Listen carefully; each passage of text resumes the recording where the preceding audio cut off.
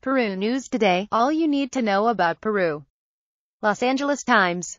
Paddle, hike and cycle on this tour of Peru's Sacred Valley. Small winding dirt roads, colonial towns and llamas await on this trip featured on the Los Angeles Times. The Los Angeles Times has featured a trip through Peru's most popular tourist destination, the Sacred Valley, Cusco, in their article entitled, Paddle, Hike and Cycle on this tour of Peru's Sacred Valley. It's easy to imagine oneself walking alongside a strong llama with nothing but crystal clear blue skies overhead. Depending on your interests you can mountain bike, hike and or kayak through the ancient valley that was once home to the Incas. In the Sacred Valley, located only 10 miles north of Cuzco, you can find quaint villages around every corner, abandoned archaeological sites sprinkled in the lush vegetation, colonial architecture and colorful markets. To get another perspective of the valley, the Los Angeles Times describes a tour that bound to keep you on your toes. A three-day tour called The Sacred Heartbeat, organized by Libertador Hotels, Resorts and Spas,